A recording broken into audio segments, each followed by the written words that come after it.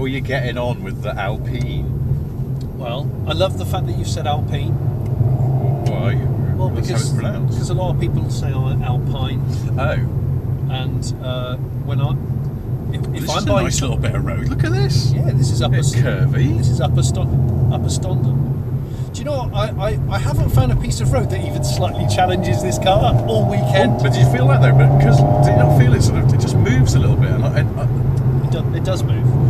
So I have to tell you, I've driven this car Yeah. uh, a, a, a few weeks, months ago, uh, and I had booked it in, forgetting it was the same week I was having a vasectomy. Oh, And because of these uh, tight racing seats and the general sporty demeanour of the car, it's not kind to the tender clackers of a man who's just had his it's not a vasectomy car. balls rummaged with. No. So I, although I really enjoyed it, uh, my enjoyment was compromised by a feeling of extreme tenderness and pain in uh, my knacker bag. Is that like Time, Love and Tenderness by Michael Bolton? Yeah, that's what that song's about. Time, Love, Tenderness.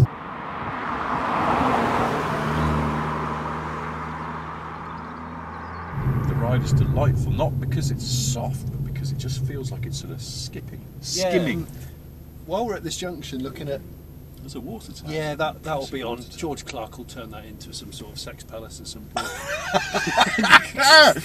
George Clarke's dirty spaces. um Yes, while we're stopped at this junction. while we're stopped at the junction I'm checking my mirror so we're not oh, actually someone is coming so Ah. we'll- you immediately feel how refreshingly light it is Yeah. how refreshingly Spartan it is and in that brilliant way that the French know how to do Spartan because they always have done I, yeah, but you see, I don't think it is Spartan because what what have you not got in here that you want? What have you not got in here that you want? Well, a lot of people have moaned about lack of um, cup holders, which I think is such an American. It's, I mean, I've not got cup holders cup per se, holder. just storage space is a little bit on the This fits cubbies. cubbies. We have a, do little a tray down here, which you ca- I can't actually get my hand into very easily. And And it's actually, also that's one of those classic. Where's my phone? Oh, I've left it in the car again. oh, this thing. there's a you lot of that going on. I But you like know, a prominent. can But you- you've got this here, then. I see. I see this. well, so I've this is put my okay, phone in here, but I, you know the, you know the little ignition key, which I'll Yes. get out. It's CAC, isn't it? I'm It's just- it's an old Renault credit card, that's the key. thing. But have you noticed they've put it in this leather wallet? soft leather wallet. and then printed the corresponding if you put it in the right way round like this then the buttons correspond to the things on the outside of the wallet. And what they're saying is just push. If you need to push the outside of the wallet and it will work and you don't ever have to Get remove this and go Oh, isn't it's this from an old Laguna? From is that like is that late nineties or early two thousands? early 2000s same with the audio the auxiliary audio controls. Yeah, that is bad. like out of a Renault 19 That that feels awful. But what they've done, this sort of obsession with saving weight, there is no other way of doing the stereo volume because everyone knows that, that the mass of modern car, a lot of it comes from the stereo volume control. Oh, So they've yeah. deleted it. And I'm going to pop this in your little thing. especially if phone, it's billet lead, uh, as they often are. as they always are in French cars. I mean, I remember for a while, um, I think it was Mercedes were making the volume controls on their stereos um, out of a collapsed sun, and it actually has an incredible density. Um, so yeah, that, there's, that, but that kind of thinking where you go, well, no, it's only it's, it's almost symbolic, but Well, I keep getting in the car and doing that for the volume control. Oh, on the that's the steering cruise, But it? that's cruise. But I see. I think cruise is not as important as volume. because cruise is so- Uh, yes. I mean, but at the same time, I like cruise control in a car now because average speed cameras, all that kind of thing. Yeah. And this goes back to what I'm saying. What is there in in here or not in here that you really need? It's got it's got nav on a touch screen, hasn't it? And, yeah, it's uh, got some toggles. Yeah. It's got some toggles. The toggles are nice, aren't they? Yeah, toggles are Good nice. toggle action. Um, although they're sort of There's a flimsiness. yeah, that's the thing. You feel like if I don't know if Volkswagen had done this, well, look, I'm sure the underlying quality of the mechanism is broadly the same. They probably both come from Bosch or somebody, but somehow Renault managed to make it feel flimsy, and Volkswagen yeah. make some effort to make it feel sturdy. And it's just that perception of what it's like that makes Yeah. you feel good about a car or think, oh dear. This car does make me. I. I think my I love the way it's going over these bumps. yeah just my skipping. my kind of ten mile initial appraisal of it was. I love the fact that I'm looking at a badge that I haven't seen for ages, and other people are double taking and going, what is that thing? It's Yeah. not too flash, but it's unusual and it's clearly sporty because he's sitting on the floor. Yeah. And I love the fact that it is completely unashamedly celebratory of its its only four pistons. You know, you, we're in a world now where the old Boxster that's not called Boxster anymore Mm. um, is um, gets gets derided by people for having its sort of um, reduction of pistons Yes. and saying it's not good enough anymore because it's a flat four. When actually everyone that's driven it knows it's really good. It's yeah. It just you know sounds what? a bit The- the- it's uh, yeah, and actually it's all right. Sometimes it sounds a bit like an Impreza, and not in a bad way. No, The reason not in a I didn't way. enjoy that car as much as the old one is actually nothing really to do with four versus six cylinders. It's the turbo. It just makes gives it that very sort of flat, consistent delivery. Yeah, And the joy of the old one was yeah, ringing it out. Yeah. Um, this is a bit more ringing out, isn't it? Even though it's got a turbo on it. yeah. But it I don't feels know, I like it's sort of then you, you ring it and there's stuff still going on. It doesn't it doesn't Well, give out on you too much. It's only memory. and it's only 250 horse. Yeah, well, that's all you need though. I mean, I don't. No, I mean it's but it's 1100 kilos. Mm. Is it 1100? It's 1103. It should be cool. See, look, I mean, that's picking up. But you know, that's the other thing. It took me half an hour, maybe more, and I did have to go on the internet in the end to work out how to keep it in manual and stop it from knocking into Oh yeah, you, you hold that it's down. the double. you? It's the double Yeah. tap, I think. And then it makes it go M there Yeah. because I kept it kept snicking back into auto, and I'm like, I don't want it to be auto. Should I go that way? Uh, Which way should we go? I don't know. I don't I don't know. I don't know. Not that way because we just come from. Yeah, we're going to go that way. Um, and although the gearbox is a wet clutch, seven-speed paddle shizzle, Yeah. it's quick, it's and it is rewarding. The rest of the, the way this car is built, the whole the whole project of this car, I would have loved to have felt what it was like to drive as a manual. I, I really would. And I'm, Yeah. I'm, I'm not one of these people that just as manuals are always better. They're not always better. It, it depends on the car. It depends on the the, the, the the purpose. But I have to say, this car as a manual, I think, would be amazing. It would be nice to know, wouldn't it? It would be nice to know. You know, Nice you, know you can still buy your Caymanses and your Boxsters as a as a three pedal or a two pedal. Yeah. and, and I, I, this car should have been available as a manual. It's such a, it's such a really nice, eager car. I guess they probably looked at it though, and they said, right. We, I mean, it's already quite expensive, isn't it? Because this is a bespoke thing. It is. bespoke aluminium shell. It's not. I mean, I know there's bits of it. It's a GTV6. Look at that Oh, massive amount of camber on the front of those. Always, they always look a bit like a bit not quite me. They're but- set up for sort of um, amateur touring car Yeah, when you buy them. uh, yeah. I I think they've put so much that obviously the budget couldn't be infinite because even though it is quite expensive, well, this one this this is the launch edition, isn't it? It's fifty grand. The Premier Edition. There's yeah. now an entry level one for sort of forty five. Yeah. It's still yeah, quite it's- a lot, although I mean, for a bespoke mid-engine sports car that's all aluminium, Yeah. it goes. Ninety-six percent aluminium. Is it? Yeah. That's a You know, the other bits are I don't know what. Is it? Is it? is it, Well, I mean, there's some leather in here for is a it start. cardboard? I Faux don't know. carbon here. Is it faux or is it real? I don't know either way. I don't like that. I There's just, a bit of wave carbon I on there. know, no need, no need. It's just it's, not an attractive finish. I think it's, it's just it's like carbon? yeah, it's a very functional material. It looks over. great when you see bits of racing car or you open the doors on a i3 or something. Got the door shuts. Yeah. That's good because you're going. We've used this here for legitimate reasons, but Yeah. this, the bezel on an interior air vent does not need to be rigorously lightweighted for performance reasons. That's just a finish to make it look. Actually, sporty. you know that is a really that's a really good point because this car's so light and it feels light and it feels eager and it's lovely. It's really really chuckable and threadable, which Mm. Is not a term I use very often, but it feels genuinely threadable. It's the size, though, isn't it? Yeah, It's the narrowness. Because when I first saw it in real life, I went, "Oh, it's narrow. it's one of those cars where you go, yeah. well, this is much smaller than I expected." Yeah. Genuinely, it's like it looks like a sort of The Veyron was the same for me. The Veyron Yes, they're is a very small, small, car, aren't they? very and supercars are normally massive.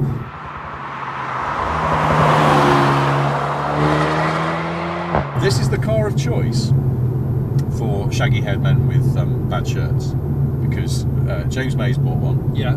Has Eddie Jordan got one? Oh, Well, he hasn't got shaggy hair. No, He's got no, bad shirts. He's got, he's got store-bought hair. Yeah. Uh, so James May's got one. Gordon Murray's got one. Yes. I think Nick Mason's got one. Ah, yeah, yeah. Men of a certain age who appreciate intelligent Yeah, engineering yes. are all over this car. Well, it takes a it takes a bold soul to say I'm not going to spend this kind of money on a Porsche. I'm not going to spend this kind of money Yes. on a Porsche, and I'm not going to buy a second. I'm not going to buy a, you know an M an M car, or I'm not going to buy a second hand AMG. Do you know who else has bought one as well? Not a famous person, a guy. Uh, I want you I've- to tell me that someone like David Bellamy's bought one. Yeah. I don't even know if David Bellamy's still alive. No, uh, Moira Stewart. Because uh, she's been on a quest for a long time now. She's to uh, she's just she's, she's, she's yeah she's just she hates uh, excess and a needless mass. yes, needless You maths. know, uh, for a long time she wanted the slogan of the six o'clock news to be simplicate and add lightness. And they went, Moira, that makes no sense in this context. Went, but it's a slogan to live by. It's a good Um, mantra. None of this is true. However, uh, also bought one of these, uh, a chap called uh, David Pook, who is uh, one of the engineers at SVO, Jaguar Land Rover Special Vehicles, Yes. did the Project 8, Yeah. and he is, you know, a vehicle dynamics expert. When it came to splashing his own cash, He bought one of these. He's just bought one of these. I just saw it on Twitter. I don't think you'll see anyone in one of these and and think that they bought it accidentally No. because they went into the the Renault showroom for a for a Megane and came out accidentally with a with an Alpine. I went to buy a Captur Yeah. and I just thought, do you know what? I can't be asked to buy a Captur. They had they, had, they just they had one of these in the showroom and I just thought I like blue. Um, yeah, it's a it is it's a very it's a connoisseur's choice definitely. It's a connoisseur's choice, and there's there's lots of design features. I love the I love the unashamed um, tricolor uh, flag emblems on the Is side that- of the car. Is this just not? Is this on the launch edition only, or are they putting that on all of them? I don't I know. think that's launch edition. Um, I love that. I love the fact that there's visible body colour inside. okay, but again, it's, that, uh, do you know what? That is a bit faux because that's plastic, isn't it? So it's It- not it like is. it's actually part of the outside that's coming. no, it's cladding. It is cladding. but it's still a nice touch. It I like a it. I like the, uh, the quilting here because you know quilting can get a bit much after a while, but this is all right. It's a nice bit. Of quilting. It's a small amount of quilting. It just looks like an elegant anorak. You've got your fixed, got your fixed paddles, which are metal. Do you, do you ever have a fear with fixed paddles? that you, as you as you're twirling the wheel, you're going to catch a finger and break it? Because No. it, it haunts me that a little bit. Even though in many ways fixed paddles make more sense. I don't, but what I do feel is this steering wheel to look at looks very ergonomic. Would you say? You've got dimples. You've got you've got indentations here for thumbs. Yes. You've got lots of bits. I actually don't find it comfortable wherever I've tried holding it every way. Still, Really? still can't work out how to do it. And so the steering wheel, and I wish it was all um, Alcantara rather than being Yeah, it's weird to just put it up there where you don't really need it very Yeah, much. 'cause I- it's the- how often you need Yeah. extra grip there. This car could do with just That's, a, that's a circular wheel, a totally circular wheel, Alcantara, and the same centre boss. Boom, you're done. Got a spoked button here. spout. Spoked button. And if you put spoked on, as you know, you press it once and you're in spoked, and you get cackle on the downshift, Eng- engineered in cackle. Or is that a crackle? Crackle or cackle? Crackle. Crackle. Crackle and Okay. pop. Oh, Oh, that's amazing. Hello. That's amazing. and then he had to brake Driving where there's no road. Like a bit of an anus. And then if you, I only realise this, if you hold your finger down on it, is it, is it you, if you hold your finger on it? Yeah, you get track, Oh, yeah. track mode. and that's So that's taken off the traction control, stability But you control. put it on track It's giving you level. a digital readout for revs, which no human brain can process. No human brain, and also how much horsepower you're using and how many newton meters. Yeah. So right now we're using But less than five horsepower. Ah. It's a deceivingly fast car too. Yes.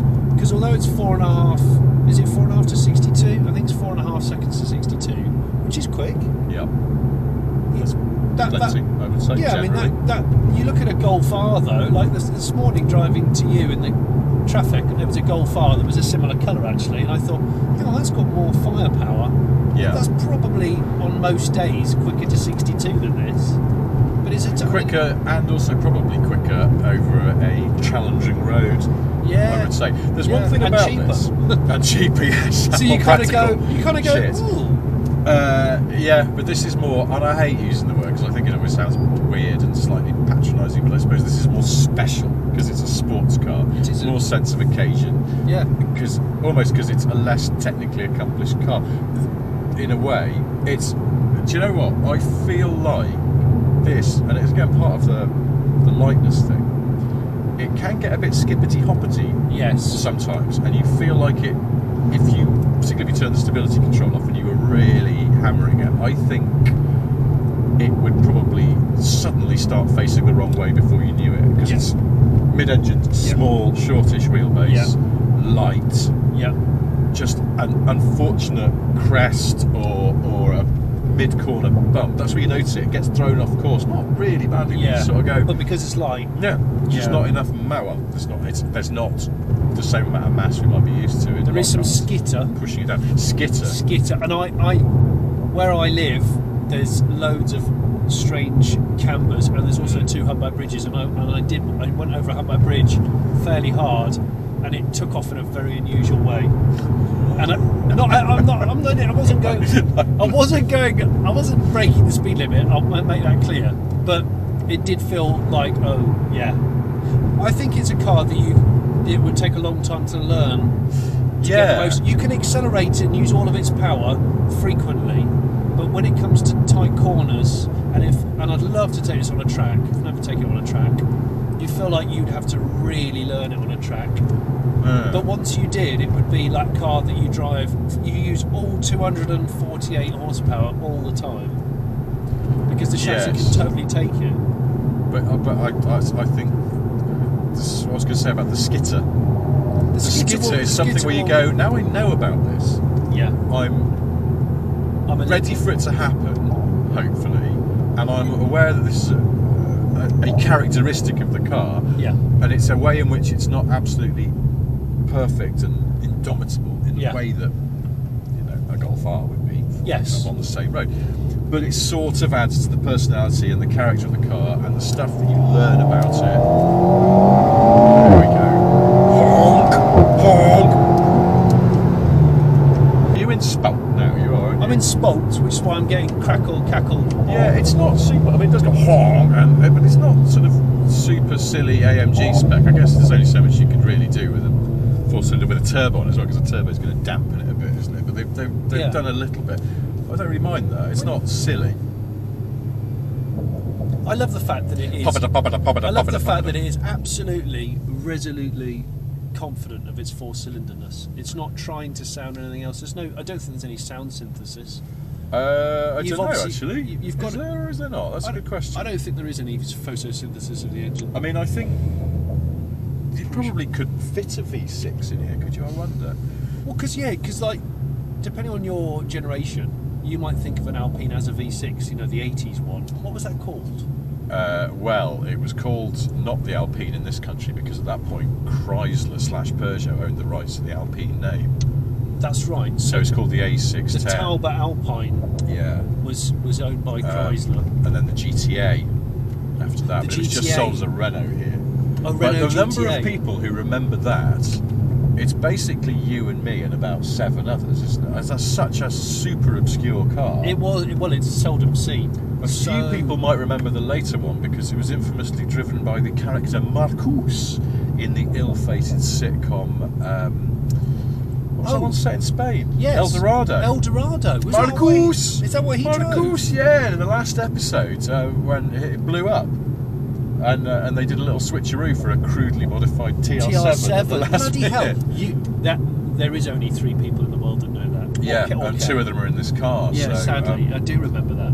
Marcus. That was a V6, wasn't it? Marcus. Yes, that so, was a V6. So that, so that was badged as Renault GTA or an Alpine outside of the UK. yeah. The Gordini Renault 5 that my mate Ed bought, the absolute rotten one on the day I got this, he said it also comes with the guy had put um, all the Alpine badges on it. Oh right. okay. So we'd obviously bought Alpine badges. Mm. Um, I said, "Oh, uh, you gonna? It's worth it for the engine and gearbox." He said, "Yeah, Jonny." He said, "I didn't even have to unbolt the engine. I just pulled it. He said the whole front just came off the car, Ah, and I just sort of just I just dragged it out of the out of the orchard.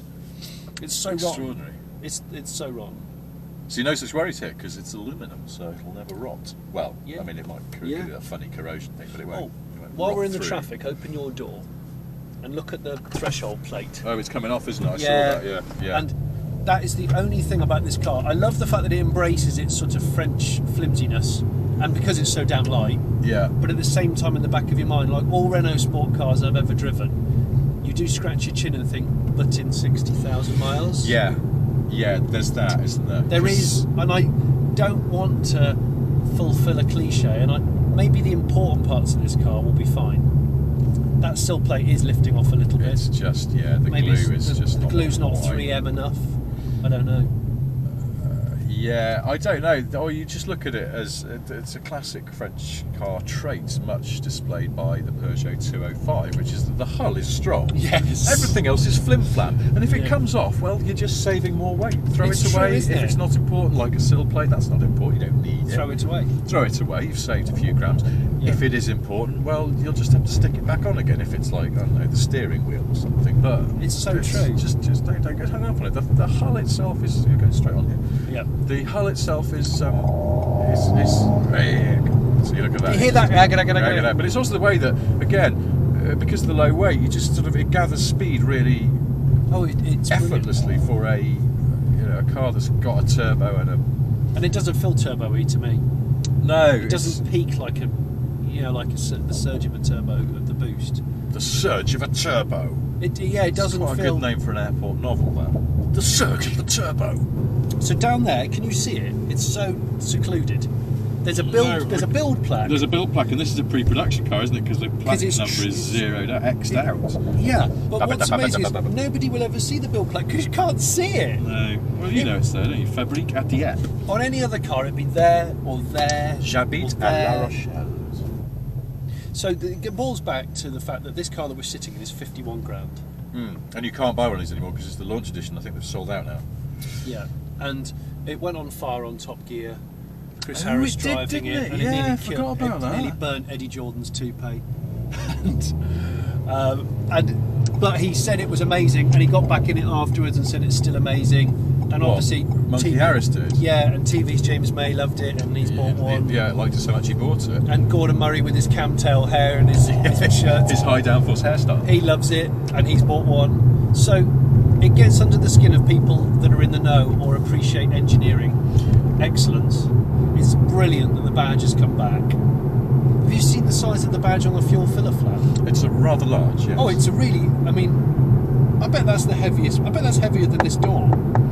Maybe the fuel filler was too light and they've had to weigh it down with a badge to stop it, I don't know, blowing open. And the suspension did sit like that when they put the fuel filler flap. They've had to chase Hey, now that's a good point though. It's like, you know, the Nissan GTR, they sort of fiddle with it every year in that kind of a slightly weirdly obsessive way they have. And at one point, I think they, they did sort of make some tweak, which was to account for the fact that I guess they realise most owners have got no friends because they've got a GTR, that it's going to be always driven one up. And the suspension slightly accounts for the weight imbalance side to side. But Yeah. this, being a fairly lightweight car, Yeah.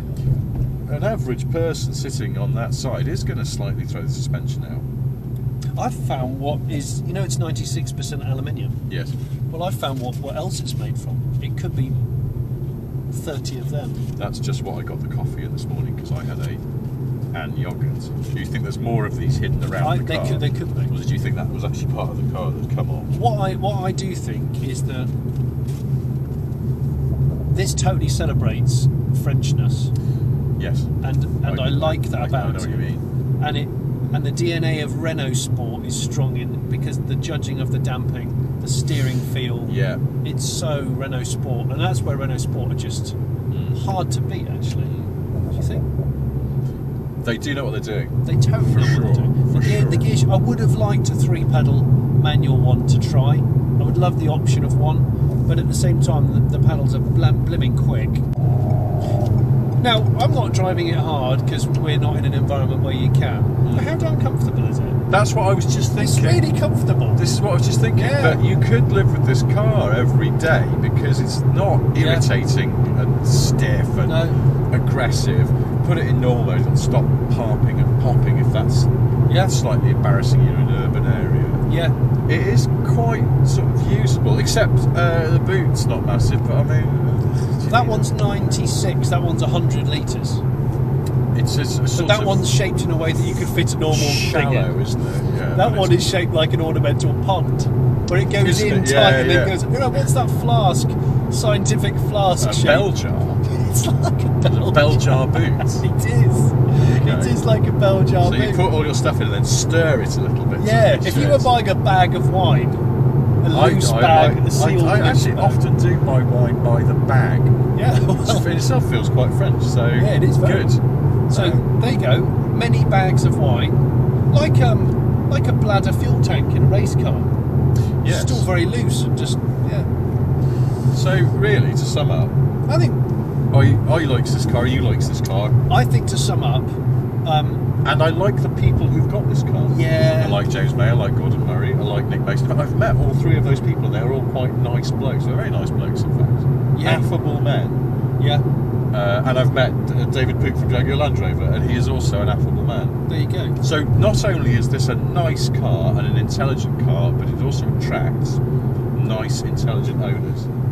If you see someone in one of these, I'm pretty certain they will not be a prick. And Yeah. you can't guarantee that about a lot of other cars.